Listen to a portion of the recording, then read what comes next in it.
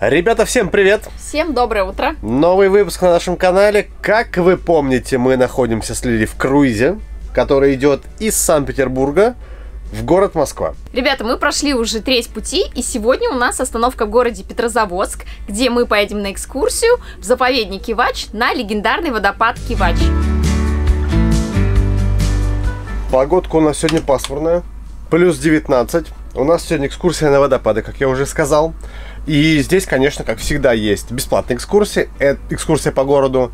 Наша экскурсия платная, потому что это водопады, потому что это далеко, потому что надо ехать.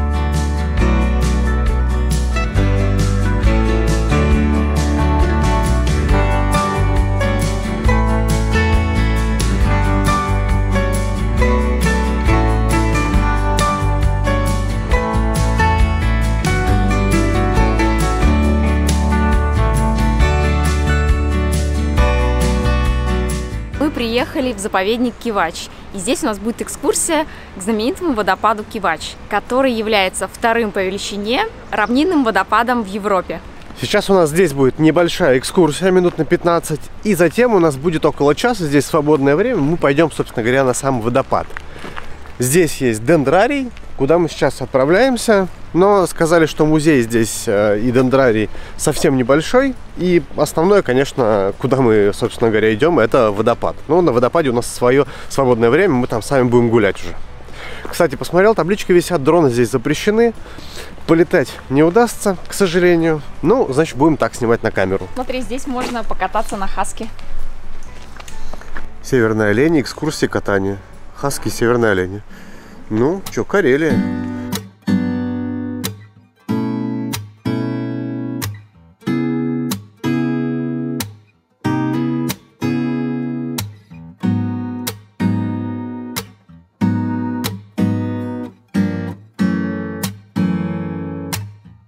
Ребят, а вот смотрите, такой стенд интересный. Я первый раз э, сталкиваюсь, где очень подробно про каждое насекомое с примерами и описанием выложено прям а, на витрине. Ну, например, очень много разных видов мух. Ну, то есть ты думаешь, ну, муха и муха.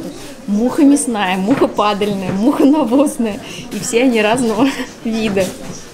Ну вот, кстати, небольшой, но очень такой интересный музей, да? Да. Совсем маленький, Хочется крошечный, да, но интересный. Особенно с насекомыми. Ну вот никогда не знаешь, тебе попадаются разные насекомые, но ты никогда не знаешь, как он называется. А тут тебе, пожалуйста, с примерами вот такие крохотные, побольше. Ну, прикольно.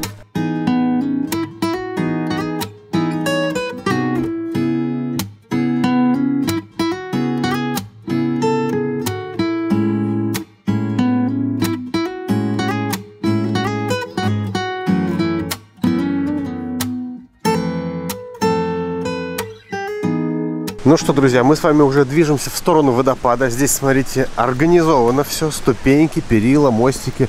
Все красиво сделано. Смотрите, поворачиваем голову. Вот мы оттуда пришли.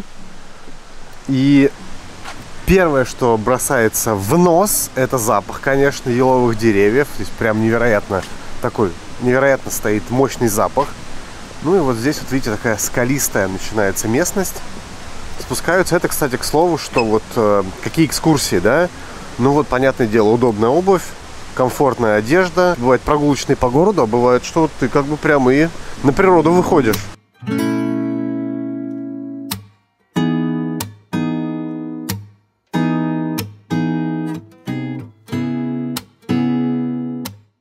Ну и мы буквально прошли несколько метров от входа, и сразу же у нас здесь смотровая площадка, с которой открывается вид на водопад.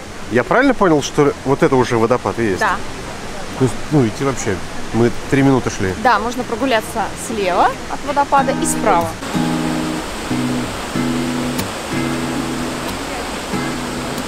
Так, ну мы держим путь свой вдоль водопада. Здесь, видите, такая каменистая местность. Но, в принципе, вполне комфортно идти. Я, правда, в не очень удачных кедах. Ну, в принципе, как всегда. Подбирать обувь в путешествие – это прям мой конек. Я никогда не могу правильно выбрать обувь, э, которая нужна. Там, где нужна обувь комфортная, я иду в городских кедах. Там, где нужна обувь э, такая, знаете, с подошвой, чтобы была резиновая, знаете, вот куда-нибудь водопад. Я обязательно в каких-нибудь сланцах, которые разваливаются по пути. В общем, это прям мое.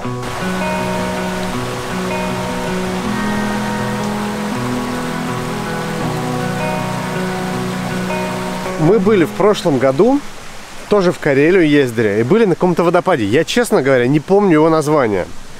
А, Это был другой водопад абсолютно точно, но очень похоже, конечно, природа и пейзажи. То есть вот мы приехали сюда, и если бы, знаете, не парковка и не вот эта не входная группа другая, то я подумал, что это то же самое место, потому что настолько они похожи, вот эта каменистая местность, вот эти деревья, все прям как, вот, как одно. Но другое все-таки место и другой водопад. Это прикольно, потому что мы уже второй водопад увидим в Карелии.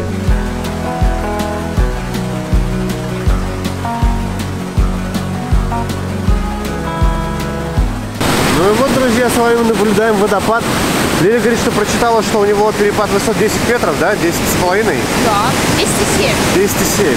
Ну, вот, например, я так понимаю, что это общая высота. То есть, например, самая верхняя точка и, грубо говоря, самая нижняя его точка. То есть, не, ну, не каждые 10 метров. Потому что здесь явно не 10 метров. То есть, метра 4, наверное, максимум. А я прочитала, я ждала увидеть, что он такой высокий, знаешь, а потом ты говоришь, что он равнинный. Но я и правда думала, он же правда равнинный. Значит, он такой пологий С порогами с такими. Ну, здесь прям бурлящая вода. Кстати, говорят, что когда построили ГЭС в 50-х годах, сила водопада в 13 раз уменьшилась. То есть раньше он был прям очень мощный, а сейчас в 13 раз слабже из-за того, что построили ГЭС. А вот смотрите, здесь как раз есть описание водопад Кивач. Один из больших равнинных водопадов в Европе. Возраст около 8 тысяч лет. На реке Суня четырех ступеней, вот видишь, четырех ступеней. Две, как первая и последняя, существенно выше средних порогов. Вот, Общая. 10 се- и 7 метров. Самый высокий порог 6 метров. Четвертый. Получается, Это мы его... общая высота, как мы с тобой... Да, да, да, как мы предполагали. То есть четвертый это как раз, наверное, самый последний был порог, который самый внизу. мы- Ой, смотри, а скалы, которые обрамляют водопад, представляют собой диабазовую гряду, возникшую не менее полтора миллиардов лет назад. Это же как давно было. Ну Смотри, да, а и название откуда идет? киви камень а, или кивас э, снеговая гора или бурный стремительный кивас.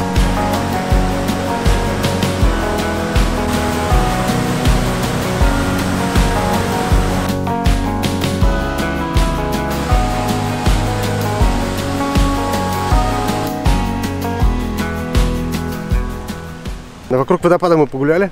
Территория небольшая, 170 метров всего лишь. То есть это по факту 10-15 минут. И мы свободны. Так, а нам нужно сейчас, ребят, купить воды и кофеечку может выпить. Видите, кафетерий Седой Кивач тут. Ну вот, на самом деле, стиль такой вот деревянный. Мне очень нравится, как здесь все сделано. Ну, сразу ассоциации с Карелией. Да, именно, Согласись? именно. Итак, друзья, мы взяли кофеечек и взяли, сейчас я достану, мы взяли калитка с творогом. Смотри, какая штука. Знаменитая калитка? Ну да, это, Корейская. это местная выпечка. Они разные есть, там и с лисичками, и с брусникой. Ну вот мы взяли с творогом попробовать. Давай.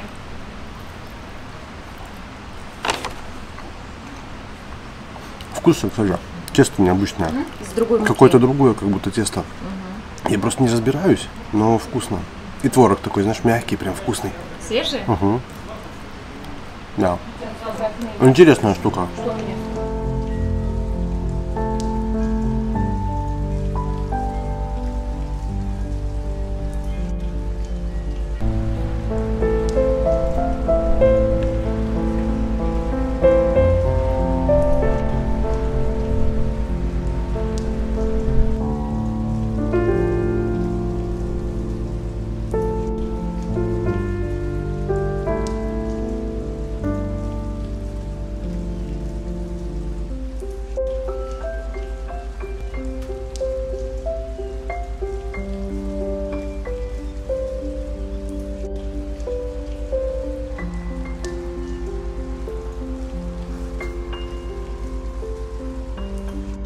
Видите, все в дождевиках с зонтиками. А У нас, конечно, ничего нету с собой.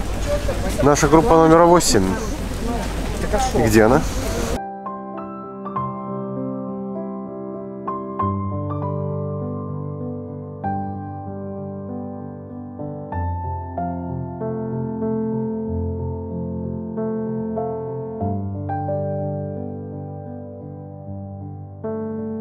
На самом деле экскурсия невероятно интересная.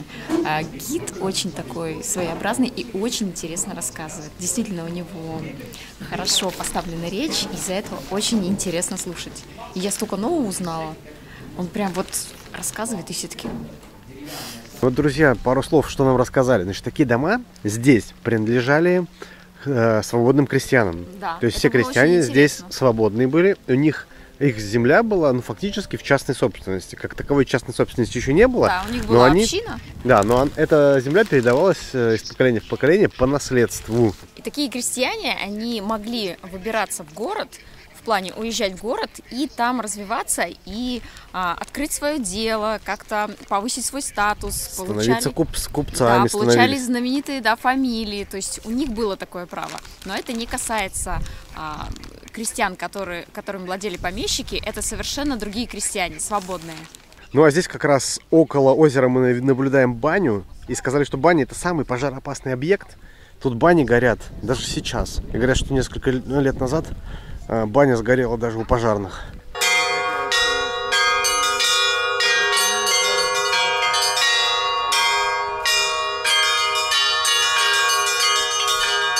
Друзья, нам тут рассказывают очень много интересной информации. Ну вот что, что отложилось нам в памяти буквально только что. Значит, это э, здание называется Рига. Там коптили мясо, да? Мясо, да, и рыбу холодного копчения. Да. да. Естественно, когда был улов, он происходил не каждый день, не каждый месяц. И большую часть года, в общем-то, это сооружение пустовало. И местная молодежь устраивала там вечеринки. То есть они проводили там свой досуг. И в прямом смысле, знаете, такое выражение «злачное место». Да, потому что там это злаки вот тоже тут сушили там. Да, да, там сушили злаки, и поэтому называют какие-то такие сомнительные заведения злачным местом, вот от этого и пошло. Сушили злаки, и молодежь там устраивала такие свои вечеринки. Короче, вот оно, злачное место.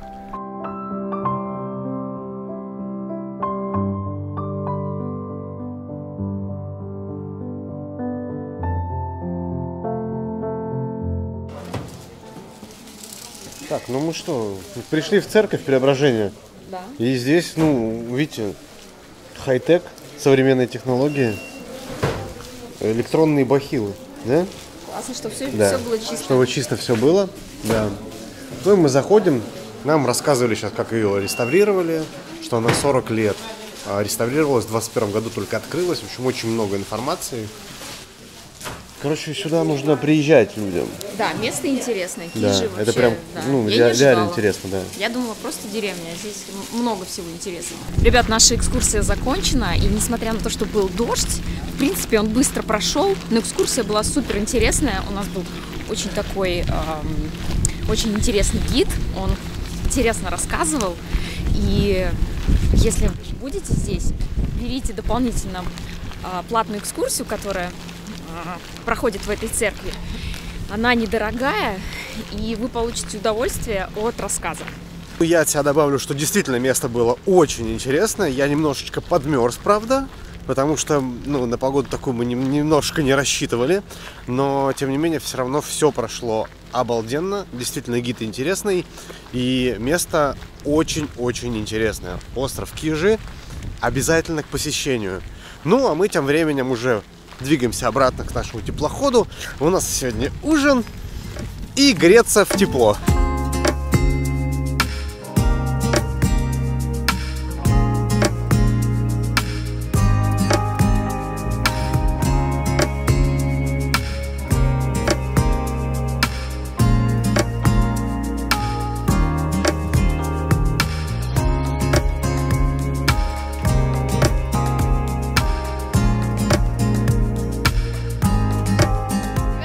Доброе утро! Мы в городе Вытигра, Вологодская область, и у нас сейчас две экскурсии. Первая – это водные пути севера, и вторая будет экскурсия на подводную лодку.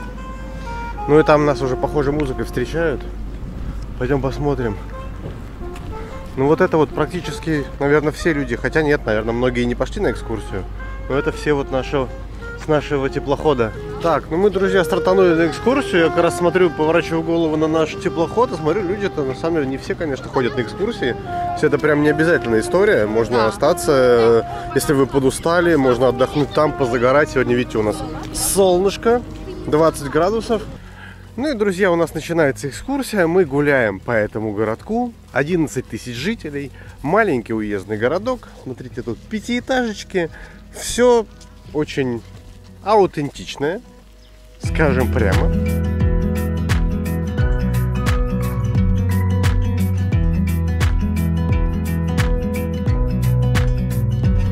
Итак, господа, ну а сейчас мы подходим к местной набережной. Смотрите, так сделано из дерева. Мост через реку Вытигру.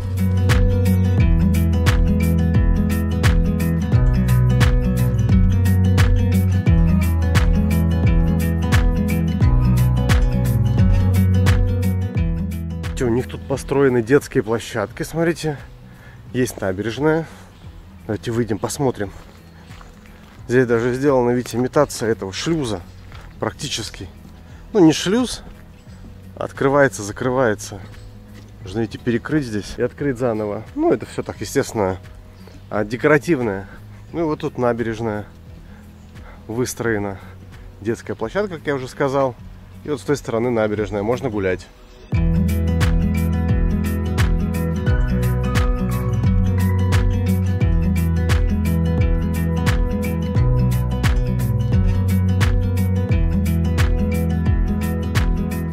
Так, ну Лиля тут сразу нашла свое место. Лиля, твоя площадка как раз, да? Видите, детская площадка такая. Специально, как, как знали. Для Лилики качельки сделали. Мы тут все гуляем. У нас сейчас экскурсия была. Здесь находится музей. Вот это небольшое здание. Только что мы из него вышли. Сейчас уже двигаемся потихонечку в сторону подводной лодки. У нас еще экскурсия будет в подводной лодке. Мгм.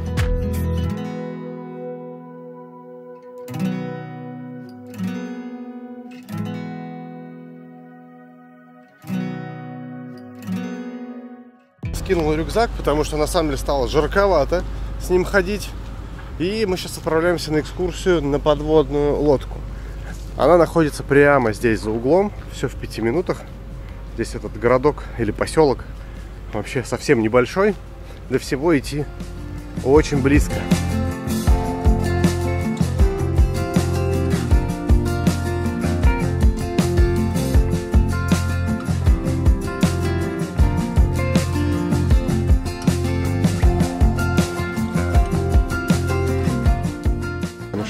Идет экскурсия, и мы тут обратили внимание на гальюн.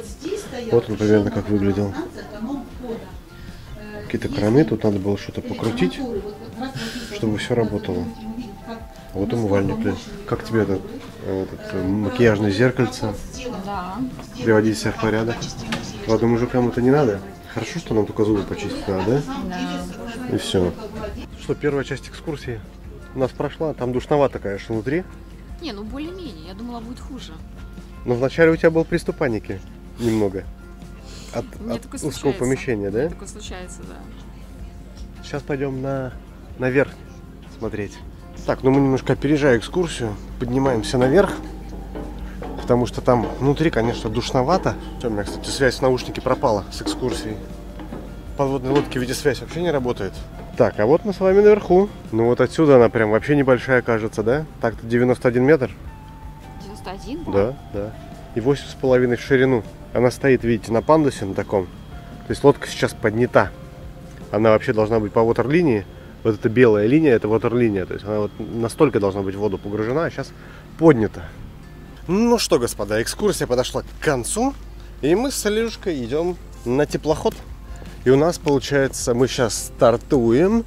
Сегодня целый день идем. Да. Сегодня ночь идем. И завтра мы прибываем в Череповец. Да, и то прибываем не рано, получается. Да, то есть у нас сейчас переход будет такой, почти сутки. Господа, ну что, мы уже в пути, и у нас очередной шлюз.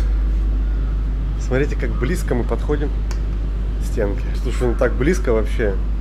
Просто мы сейчас впритык будем, смотри. А, мы все, мы притираемся к стенке. Реально можно достать рукой, видишь? Уже поднимаемся наверх.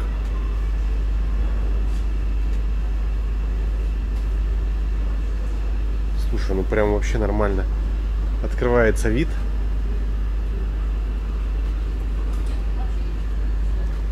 Вика, видите, таймлэпс записывает на телефон. Или у тебя рука не затекла? Тихо. Не мешай. Ты уже минут 10 стоишь, наверное. Что не сделаешь ради контента, да? Ничего себе, мы уже поднялись на уровень фонаря, да? Лиль. Пора заканчивать уже, я думаю. Мы еще движемся. Я смотрю. Не, уже все. Нет, нет, движемся еще. Серьезно? Да. Все? Движемся до сих пор. Смотри на номер 7, как мы отдаляемся. Да, точно. И вправду. Сейчас вообще фонарь уйдет вниз.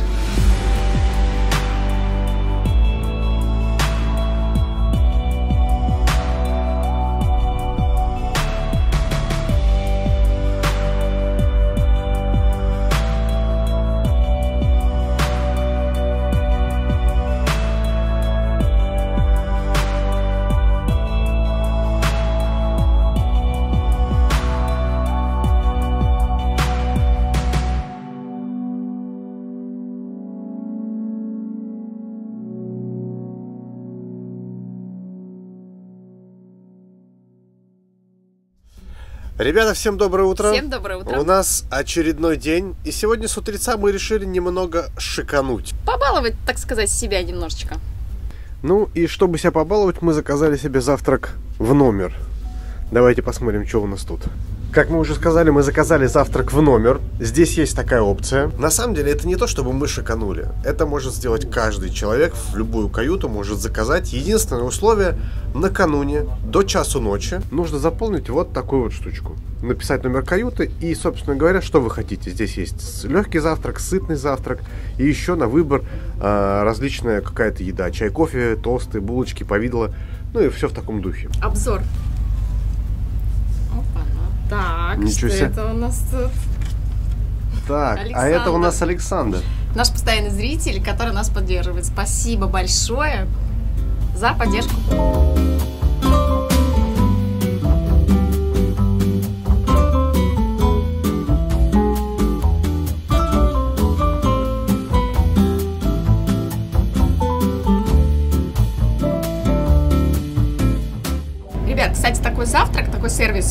Представляется на любом теплоходе круизной компании «Созвездие». Так что, если вы выбираете какой-то круиз, то там обязательно вы найдете такую же опцию.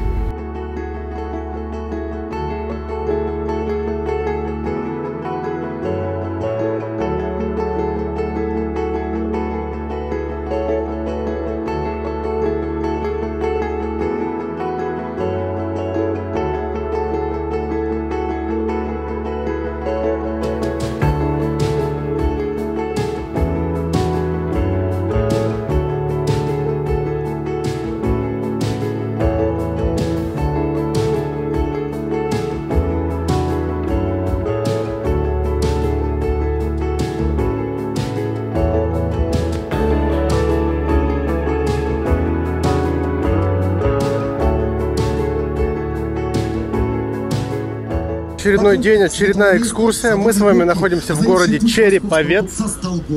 Пришли только что на нашем шикарном, роскошном теплоходе «Лебединое озеро». Здесь нас встречает небольшая ярмарка, ярмарка я посмотрю, да? Это? сувениры. Торговля. Кто рассказывает про историю. Мы разбиваемся, как всегда, традиционно на разные группы и отправляемся на наши экскурсии. А экскурсия у нас называется «Островок усадебной культуры в Череповце». Это я выбрала. Так это бесплатная на выбор, да, была Бесплатная экскурсия? на выбор, да. Но есть еще платная, которая... на которой- Дополнительная. дополнительная, да. Здесь мы с вами наблюдаем мост. Я, честно говоря, не знаю, как он называется, просто вот наблюдение. И еще одно наблюдение. Очень большое количество пляжей здесь в Череповце. Вот мы сейчас проходили пляжи через каждый километр. Люди купаются, погода сегодня шикарная, 26 на улице, солнышко. Так что здесь прям этот курорт.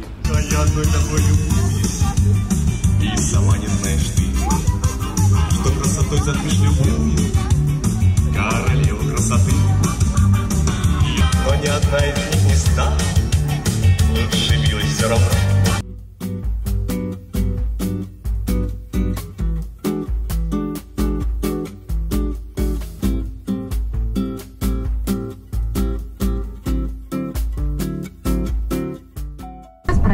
как раз говорил, что это за мост, а это первый вантовый мост России. Мы сейчас как раз по нему едем, Октябрьский мост, да.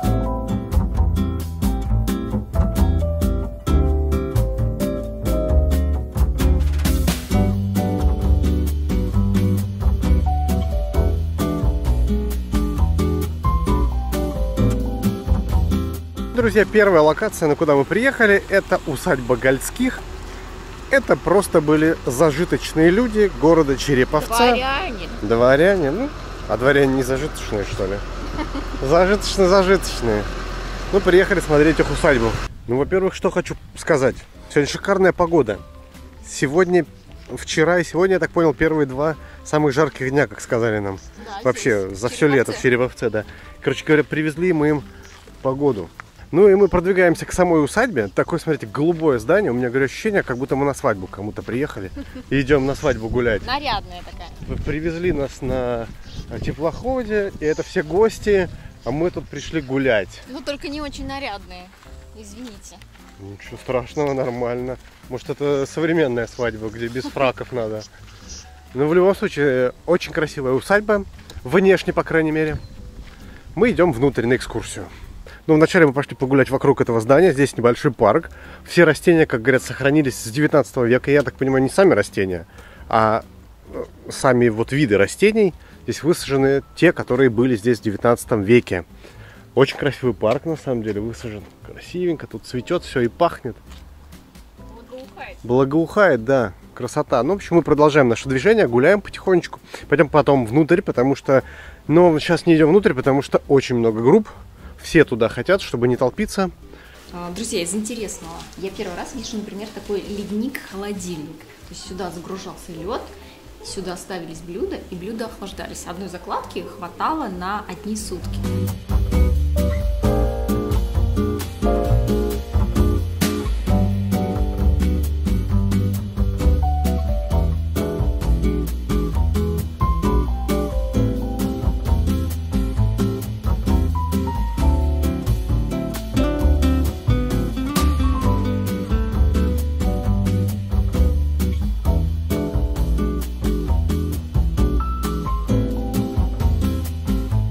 Продолжается экскурсия. Сейчас у нас обзорная пешеходно-автобусная экскурсия по городу. Сейчас нас высадили в самом центре города. Тут не такая тут площадь. Ну, кстати, я вам скажу, вполне себе неплохой город. Да, череповец. Достаточно ухоженный. Милый такой. А, пляжики есть. Вот сказали, что в черте города у них 6 пляжей целых. Тут люди все выползали загорать, потому что классно. сегодня температура 26 или 27 градусов на улице. Вот. Ну и вот наша экскурсионная группа. Видите, нам все рассказывают, показывают. И вот он наш автобус. Кстати, очень комфортный автобус оказался. Мы прям так супер удобно едем в нем.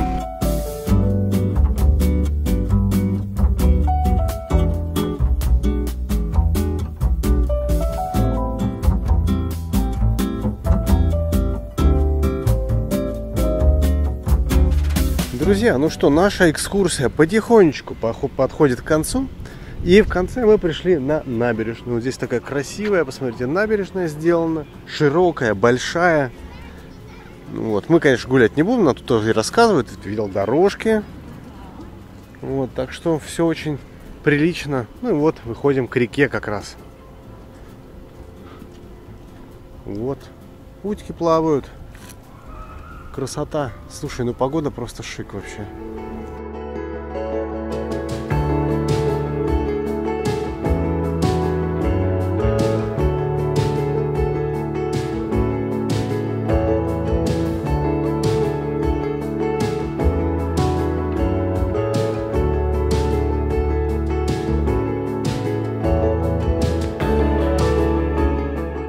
А у нас тем временем наступил вечер, и сегодня у нас последний, заключительный ужин на теплоходе. И по традиции это, конечно, ужин с капитаном. Капитанский ужин, да. Лилечка, видите, как и нарядилась, красавица. Нет, это мое обычное платье, оно совсем не нарядное. Я решила не выделяться. Я понял. Короче, ладно, скромничает Илюшка. Ну, э, мне наряжаться не надо, как вы понимаете, я всегда прекрасен. А Алика, вот она сегодня у нас э, в платье. Ну что, идем? Идем на ужин с капитаном?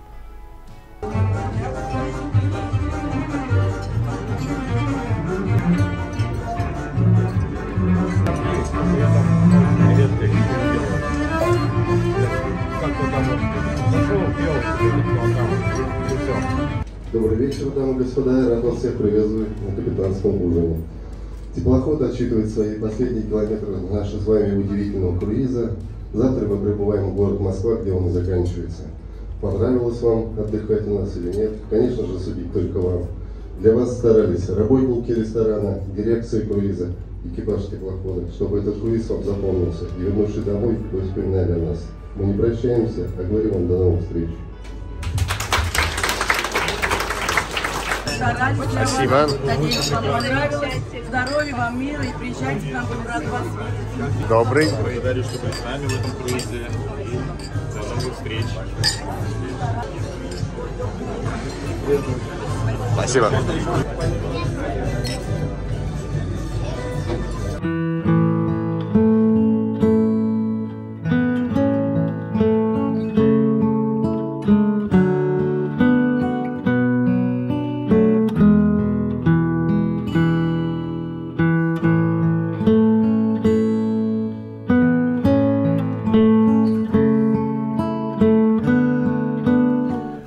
Друзья, всем доброе утро. Доброе утро. У нас новый день, и это последний день нашего круиза. Мы прибываем уже в город Москва. Как видите, чемоданы мы уже собрали, и сейчас уже буквально выходим на улицу.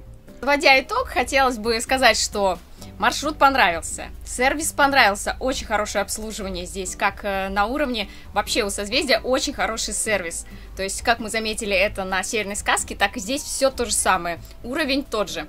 Еда на высоте, как всегда. Как всегда у созвездия. Такой круиз, э, недельный, неутомительный, все очень понравилось. Ну, на этой прекрасной ноте, друзья, мы с вами будем прощаться. Спасибо, что смотрели этот выпуск. Ставьте лайки, пишите комментарии. Вся информация, естественно, будет в описании по круизу. Ну а мы с вами прощаемся до следующих выпусков. Всем пока-пока! Всем пока!